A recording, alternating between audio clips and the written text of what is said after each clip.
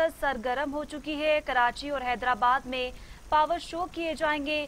Pakistan peoples party आज कराची में यकजहती rally निकाली जाएगी। एमक्यूएम हैदराबाद में ताकत का मुजाहिरा करेगी। Pakistan peoples party Karachi division के तहत आज कराची में यकजहती रैली निकाली जाएगी। पीपल्स पार्टी कराची डिवीज़न के सदर और वज़ीर तालीम सिंध सैद गनी कहते हैं पीपल्स पार्टी कराची में लासानी सियासत की साजिश को नाकाम बनाएगी। रैली का मकसद सिंध में रहने वाली तमाम कौमों और जुबानें बोलने वालों के खिलाफ साजिशों को नाकाम बनाना है। सिंध में रहने वाले तमाम सिंधी हैं, चाहे वो किसी भी कौमियत, ज़ुबान या मुल्क के किसी भी हिस्से से हों। आपको बताएँ कि सैद गनी ने मजीद कहा कि रैली के शुरा से कोरोना वायरस के तनाजुर में एस ओ पीज पर अमल दरामद करने की अपील भी की है, जबकि दूसरी जानब एम क्यू एम पाकिस्तान की जानब से सपहर हैदराबाद मार्च का इनका किया जाएगा।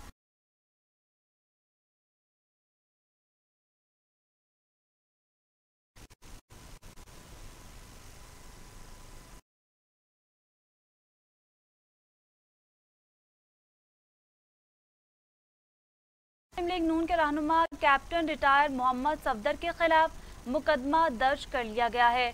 मुस्लिम लीग नून के रहनुमा कैप्टन रिटायर मोहम्मद सफदर के खिलाफ मुकदमा थाना सैटेलाइट टाउन में एसएचओ की मुदैयत में दर्ज किया गया है। बगावत के मुकदमे में नून लीग के एमपीए इमरान खालिद भट्ट को भी नामजद किया गया है। मुस्लिम लीग नून के रहनुमा कैप्टन रिटायर मोहम्मद सफदर के खिलाफ मुकदमा थाना सैटेलाइट टाउन में एसएचओ की मुदैयत में दर्ज किया गया है। बगावत के मुकदमे में नून लीग के एमपीए इमरान खालिद भट्ट को भी नामजद किया गया है। एफआईआर के मतन के मुताबिक कैप्टन रिटायर सफदर ने जुम्मे को इमरान खालिद भट्ट की रिहाइशगाह पर मीटिंग की थी, जिसमें रियासती और इंतजामी इदारों के खिलाफ इश्तियाल अंगेज और धमकी अमेज अल्फाज इस्तेमाल किए गए थे। कैप्टन रिटायर सफदर और मुकदमे में नामजद दीगर अफराद की गिरफ्तारी के लिए खसूसी टीम भी तश्कील दे दी गई है।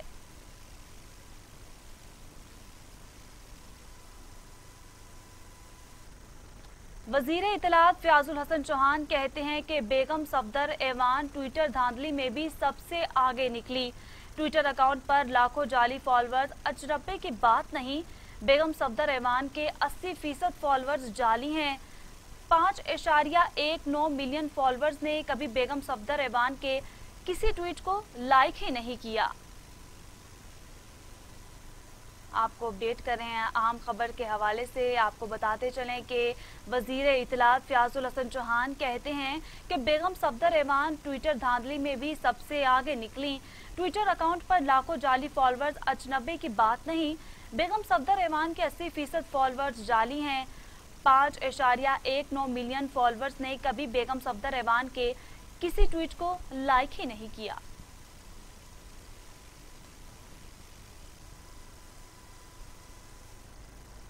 वज़ीर अला पंजाब उस्मान बुजदार कहते हैं कि लूट मार की सियासत करने वालों के लिए पाकिस्तान की ज़मीन तंग हो चुकी है। वज़ीर आज़म इमरान खान की क्यादत में तहरीक इंसाफ की हुकूमत ने पहली बार बड़े बड़े लोगों को एहतसाब के कठेरे में खड़ा किया है। माजी में जिन लोगों पर कोई हाथ नहीं डालता था, आज वो कानून की गिरफ्त में हैं। वज़ीर अला पंजाब उस्मान बुजदार ने एक बयान में कहा कि वज़ीर आज़म इमरान खान की क्यादत में तहरीक इंसाफ की हुकूमत ने पहली बार बड़े लोगों को एहतसाब के कठेरे में खड़ा किया है। माजी में जिन लोगों पर कोई हाथ नहीं डालता था, आज वो कानून की गिरफ्त में है। वज़ीर आज़म इमरान खान ने करप्शन के बुतों को पाश पाश किया है। उन्होंने कहा कि करप्ट नासिर का एहतसाब तहरीक इंसाफ का मंशूर है। पीटीआई हुकूमत अपने मंशूर से एक इंच भी पीछे नहीं हटेगी। लूट मार का दौर अब कभी वापस नहीं आएगा। और वज़ीर आज़म इमरान खान की क्यादत में पाकिस्तान अपनी असल मंजिल पाएगा।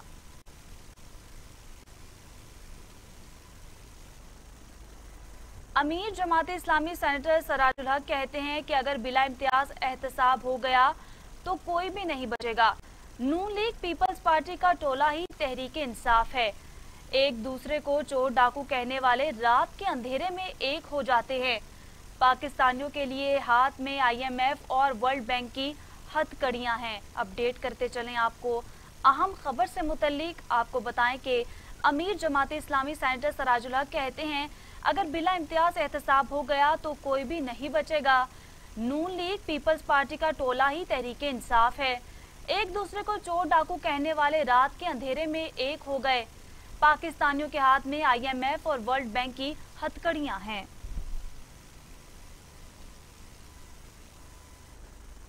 यहाँ आपको बताएँ कि मकबूजा कश्मीर में भारतीय फौज के हाथों शहीद तीन कश्मीरियों की मैयतें अहल खाना के सपुर्द कर दी गई हैं। बेगुनाह शहीद कश्मीरियों को आबाई इलाके बाजोड़ी में सपुर्द खाक कर दिया गया। कश्मीर मीडिया सर्विस के मुताबिक तीनों मजदूर कश्मीरियों को जिला शुपैया में काबिज फौज ने एक जाली मुकाबले में शहीद किया था। अफसोसनाक खबर है जिससे आपको आगाह कर रहे हैं, भारत बाज न आया और तीन और कश्मीरियों को शहीद कर दिया है।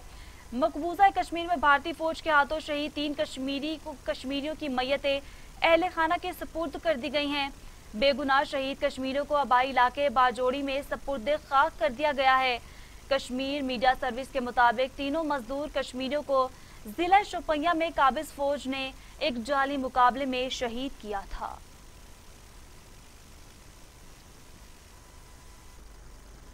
मुतहिद अपोजिशन के पाकिस्तान डेमोक्रेटिक अलायंस की सरबराही पर अपोजिशन में तकसीम।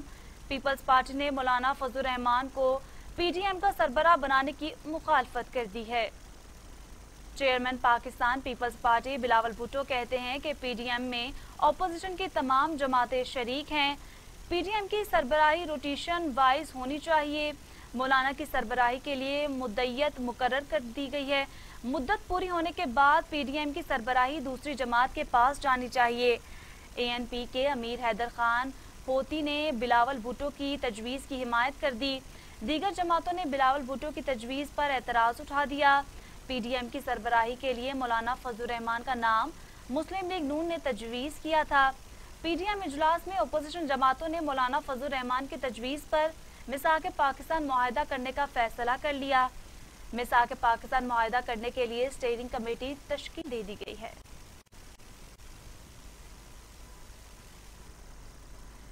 विफाकी वज़ीर हवाबाजी गुलाम सरवर खान कहते हैं कि नवाज़ शरीफ को आड़े हाथों ले लिया है। कहते हैं कि नवाज़ शरीफ सजा याफ्ता और अदालतों से मफरूर मुजरिम हैं। रियासती इदारों से महाजराई उनका पुराना वतीरा बन चुका है। गुलाम सरवर खान ने सबक वज़ीर अजम नवाज़ शरीफ पर खूब तनकीदी नश्तर बरसाए। कहा कि नवाज़ शरीफ बीमारी का बहाना बनाकर बैरून मुल्क गए। नवाज़ शरीफ की बीमारी मेडिकल बोर्ड बनाए बनाए गए। बीमारी के बायस ही उन्हें काबीना और अदालतों से रिलीफ मिला। बीमारी के बायस बैरून मुल्क गए। नवाज़ शरीफ ने अभी तक अपना इलाज ही शुरू नहीं करवाया। नवाज़ शरीफ ने कौमी दौलत को लूटा। जिन लोगों को मुल्क ने अज़ीज़ दी, उन्होंने मुल्क को लूटा। मुल्क के खजाने को नुकसान पहुँचाने पर नवाज़ शरीफ को सजा हुई। नवाज़ शरीफ का रियासती इदारों से महाजराई करना कोई नई बात नहीं।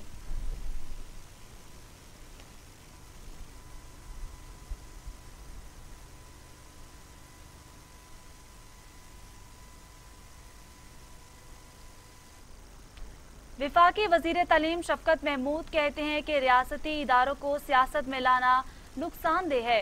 वज़ीर अजम इमरान खान की क्यादत में तमाम इदारे मुल्क की तरक्की के लिए काम कर रहे हैं। वज़ीर तालीम शफकत महमूद ने सबक वज़ीर अजम नवाज़ शरीफ को भी खूब आड़े हाथों लिया। कहा कि नवाज़ शरीफ हर सूरत एन आर ओ चाहते हैं। नवाज़ शरीफ अदालतों से मफरूर हैं। नवाज़ शरीफ की तकरीर उनकी मायूसी की आकाश है। अपोजिशन अवाम का एतमाद खो चुकी है।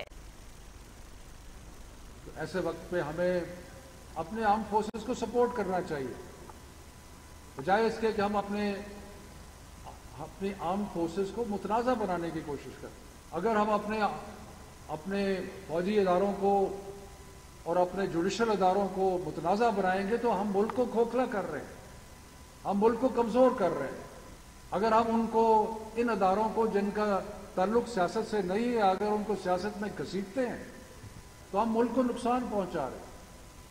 और वो वो लोग जब वो हमारे हरीफ, जो इस चीज़ के दरपे हैं कि पाकिस्तान कमज़ोर हो। अगर वो इस चीज़ के, और वो आपको और अब इलाकाई खबरें।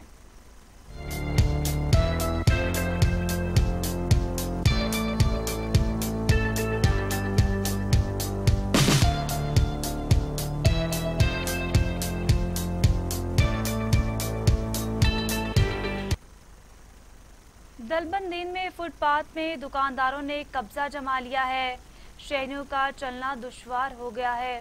जिला चाग के सदर मुकाम दिलबंदील में फुटपाथ पर दुकानदारी शुरू कर दी है, जिससे पैदल चलने वालों और गाड़ी को दुश्वार का सामना करना पड़ता है। ट्रैफ़िक का जाम मामूल बन गया है। शहरियों ने आला हुकाम से नोटिस लेकर तजावुजात खत्म करने का मुतालबा किया है।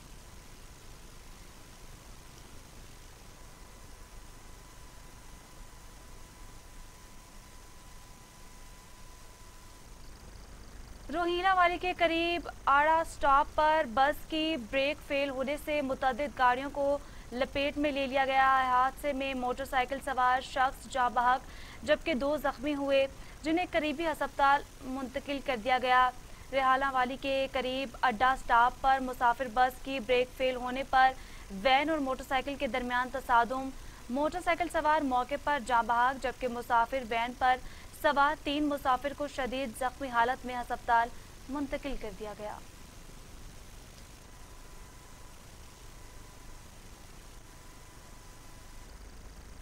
हाफिजाबाद पुलिस की जानब से चेलुम हज़रत इमाम हुसैन रज़ी अल्लाह के मौके पर जाम सिक्योरिटी प्लान जारी कर दिया गया है। चेलम के मौके पर 300 से जायद अफसरान और जवान सिक्योरिटी की ड्यूटी की फराय सर अंजाम देंगे। इस मौके पर 300 से जायद अफसरान, जवान, जलूस के साथ और दीगर मुख्तलि मकाम पर अपने फ़राइ सर अंजाम देंगे।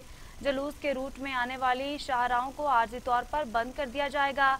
असले की नुमाइश, हवाई फायरिंग बॉल चेकिंग और नफरत अंगेज मवाद का आगाज़ और अख्ताम और रूट के मुतलिक आपको बताएँ कि मौजूदा कवानीन का सख्ती से नफाज किया जाएगा। हाफिजाबाद पुलिस की जानब से जलूस व मजालिस की सिक्योरिटी के लिए सीसीटीवी कैमरे भी नष्ट किए गए हैं, जिनकी कंट्रोल रूम के ज़रिए मॉनिटरिंग की जाएगी।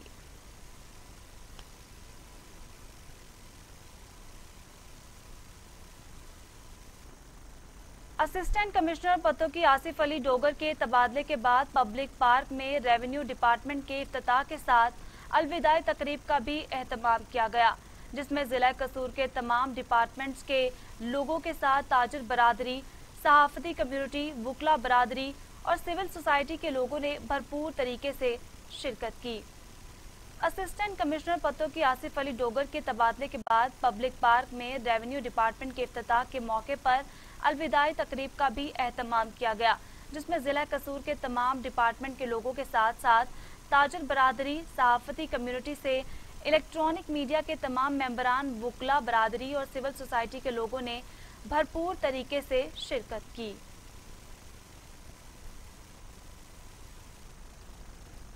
मजीद आपको बताएँ कि मकतूल राशिद लगारी के वर्षा का इंसाफ ना मिलने पर, चौकी 206 के खिलाफ शदीद एहतजाज वर्षा ने इल्ज़ाम लगाया कि मकामी पुलिस मुलजिमान के साथ मिली हुई है, जो कि इंसाफ में रुकावट का बाइस बन रही है। मकतूल राशिद लगारी के वर्षा का इंसाफ ना मिलने पर एहतजाज, जिसमें मुख्तलिफ़ बरदरियों से ताल्लुक़ रखने वाले अफराद शिरकत की। वर्षा का कहना था कि आज आठ दिन गुजरने के बावजूद कोई कार्रवाई नहीं की गई। अभी तक कोई मुलजिम भी गिरफ़्तार नहीं किया गया। इल्ज़ाम आयद किया कि कहा कि पुलिस चौकी इंचार्ज अपनी अदालत लगाकर बात को दुबाने की कोशिश कर रही है। हमें पुलिस से इंसाफ की कोई उम्मीद नहीं।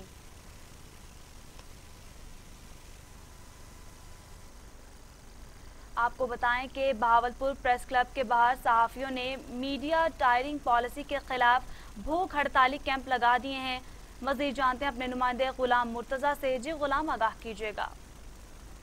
बाहर जहाँ पर पंजाब हुकूमत एडवर्टाइजमेंट पॉलिसी के खिलाफ सहाफ़ियों की, सहाफ़ियों ने भूख हड़ताली कैंप का लगाया हुआ है। तो इस वक्त हमारे साथ मौजूद हैं रोजना मिशर के चीफ एडिटर सैयद मजीद हाशमी। उनसे जानने की कोशिश करते हैं, क्या मुतालबात हैं? पंजाब हुकूमत ने रीजनल अखबार पर जो पाबंदी ऐद की है, हमने बहावलपुर से एहतजाजी कैंपों का तमाम शुरू कर दिया है और इस सिलसिले में हर ज़िले और तहसील में एहतजाजी कैंप लगेंगे और जब तक हमारे मुतालबात पूरे नहीं होते इश्तहार के, उस वक्त ये कैंप जारी रहेंगे। जी हाँ इस वक्त हमारे साथ एमरा के सदर इमरान मिडर भी इश्तराक कर रहे हैं, उनसे जानने की कोशिश करते हैं। ये सवाल क्या कह रहे हैं? देखें जिस तरह इलेक्ट्रॉनिक मीडिया को प्रिंट मीडिया की साथ ज़रूरी होता है, इसी तरह प्रिंट मीडिया का साथ देते हुए इलेक्ट्रॉनिक मीडिया भी भरपूर इस एहतजाजी भूख हड़ताली कैंप में इनके साथ मौजूद है इजहार यकजहती कर रही है और हुकूमत से मुतालबा करती है कि ये जो सहाफ़ी वर्कर पॉलिसी कुछ पॉलिसी बनाई हुई है, इसको ख़त्म करते हुए जो अखबार हैं उनकी एडवर्टाइजिंग जो है उसको बहाल किया जाए। अगर बहाल ना किया गया तो इलेक्ट्रॉनिक मीडिया भी अपने प्रिंट मीडिया के दोस्तों का साथ देते हुए भूख हड़ताली कैंप में उस वक्त तक बैठेगी जब तक उनके मुतालबात पूरे नहीं होते। जी हाँ जैसा कि इमरान बिल्डर और चौधरी मजीद आज़म का बता रहे हैं कि अगर हमारे मुतालबात ना माने गए तो भूख हड़ताली कैंप जारी रहेगा। जंग के नवाही इलाके हसो बलील मरकज सेहत के डॉक्टर आसिम हबीब मेज पर टांगे रखकर मरीजों को चेक करने लगे। पढ़ा लिखा डॉक्टर खातन मरीजों का एहतराम भी भूल गया। टेबल पर टांगे रखकर मरीजों को चेक करने लगा। मरीजों के लवाहिकीन का डॉक्टर के खिलाफ कार्रवाई का मुतालबा। मरकजी सेहत के मेडिकल ऑफिसर आसिम हबीब दौरान ड्यूटी मोबाइल इस्तेमाल करता रहा। डॉक्टर का मरीजों के साथ रवैया इंतहाई हतक अमीज है। सोशल मीडिया पर वायरल होने वाली फुटेज में सीईओ महकमा हेल्थ डॉक्टर महबूब कुरैशी का कहना है कि मामले का इल्म नहीं, कार्रवाई की जाएगी। इस किस्म का रवैया मरीजों के साथ क्यों अपनाया गया?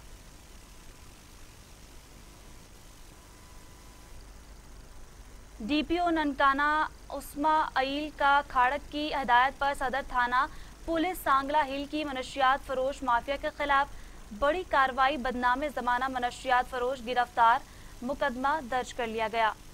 थाना सदर पुलिस सांगला हिल के एसएचओ मलिक शमशेर ने अपनी टीम के हमरा कार्रवाई करते हुए बदनाम जमाना मनशियात फरोश, मुख्तार उर्फ़ मिठू को रंगे हाथों गिरफ़्तार कर लिया और मुलजिम के कब्जे से 1250 ग्राम चर्स बरामद करके मुकदमा भी दर्ज कर लिया। मुलजिम के खिलाफ थाना सदर सांगला हिल में मनशियात फरोशी समेत नौ मुकदमा दर्ज हैं।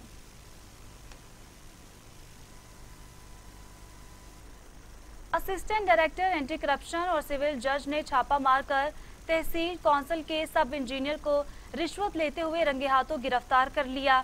मजीद तफसीत एम ए नूर कादरी की इस रिपोर्ट में देखिए। असिस्टेंट डायरेक्टर एंटी करप्शन बिहाड़ी मोहम्मद सरफराज एबक और सिविल जज इलाका मजिस्ट्रेट बुरेवाला मोहम्मद आसिफ इकबाल ने मुकामी ठेकेदार साजिद महमूद रहमानी की दरख्वास्त पर कार्रवाई की है, जिसमें साजिद महमूद रहमानी ने मौकफ इख्तियार किया कि sub engineer Mohammad Shafiq tehsil council Burewala ने मुझसे बिल पास करने के लिए तीस हज़ार रूपए रिश्वत तलब की है और बीस हज़ार रूपए मुझसे वसूल कर चुका है और बाकी दस हज़ार रूपए मजीद मांग रहा है, जिस पर उन्होंने छापा मारकर सब इंजीनियर को दस हज़ार रूपए रिश्वत लेते हुए मौके पर रंगे हाथों पकड़ लिया और रिश्वत की रकम निशान जदा नोट बरामद करके सब इंजीनियर को गिरफ़्तार करके जेल भेज दिया, जहाँ पर उसके खिलाफ मजीद कार्रवाई जारी है। जी।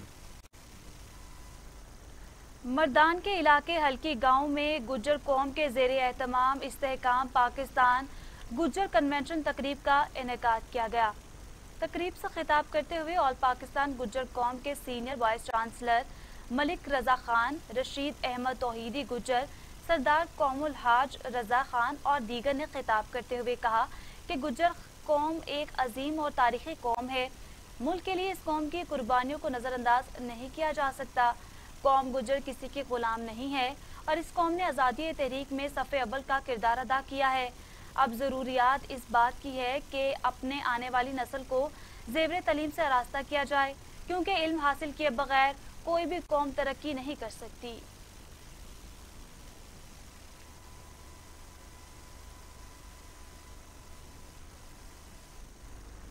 सरगोदा की तहसील शाहपुर के टाउन कमेटी झावरिया में जर्नल बस स्टैंड पर कायम मुसाफिर खाने पर नाजायज कब्जा वागुजार करवा लिया गया है।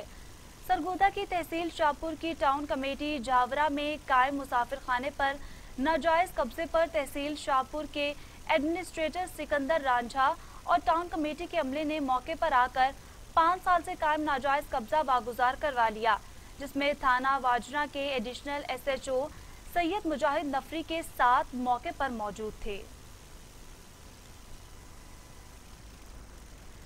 कोरोना वायरस में मुब्तला, अमरीकी सदर डोनाल्ड ट्रंप की तबीयत से मुतलिक व्हाइट हाउस का कहना है कि डोनाल्ड ट्रंप के लिए आइंदा 24 घंटे इंतहाई अहम है। सदर की तबीयत मुकम्मल बहाल होने में कितना वक्त लगेगा, कुछ कहा नहीं जा सकता। कोरोना वायरस में मुबतला, अमरीकी सदर डोनाल्ड ट्रंप की तबीयत से मुतलिक व्हाइट हाउस का कहना है कि डोनाल्ड ट्रंप के लिए आइंदा 24 घंटे इंतहाई अहम होंगे। सदर पिछले 24 घंटों के दौरान इंतहाई तशवीशनाक सूरत हाल से गुजरे। ताहम ये वाजे नहीं है कि सदर की तबीयत मुकम्मल बहाल होने में कितना वक्त लगेगा। दूसरी जानब अमरीकी सदर डोनाल्ड ट्रंप ने अस्पताल से वीडियो बयान जारी किया है, जिसमें उनका कहना था कि वो पहले से बेहतर महसूस कर रहे हैं। ईरान में कोरोना वायरस की दूसरी लहर केसेस फिर बढ़ने लगे। हुकूमत ने दारुल हुकूमत तहरान में लॉकडाउन का ऐलान कर दिया। पाबंदियों का इतलाक 9 अक्टूबर तक रहेगा। ईरान में कोरोना केसेस के बाद तशवीश की लहर दौड़ गई। रोज़ाना बढ़ते केसेस के बाद इंतजामिया मुतहरिक हो गई। दारुल हुकूमत तहरान में सख्त लॉकडाउन नाफिज कर दिया गया। लॉकडाउन के दौरान इबादत गाहें, तालीमी इदारे और कैफ़े बंद रहेंगे। शहरियों ने लॉकडाउन के दौरान कोरोना एस ओ पीज पर अमल दरामद यकीनी बनाने की हिदायत कर दी है।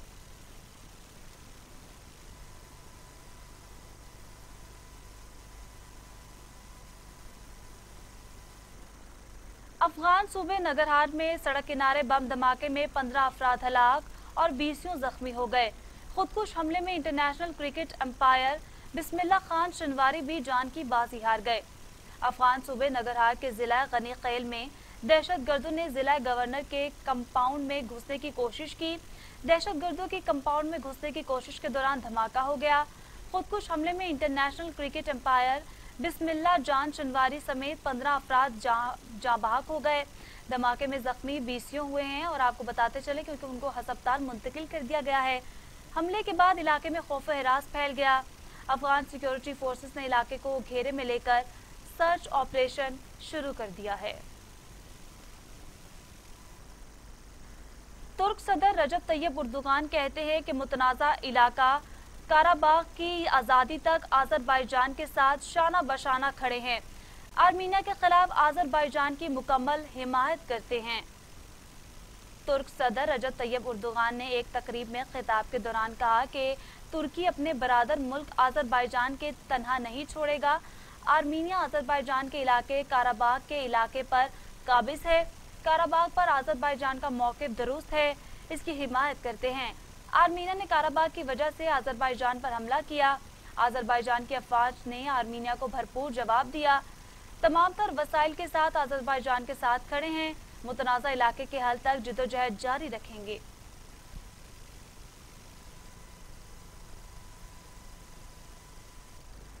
और इसी के साथ न्यूज़ स्टूडियो से फिल वक्त इतना ही। आप देखते रहिए टीवी टुडे खबर सबसे पहले।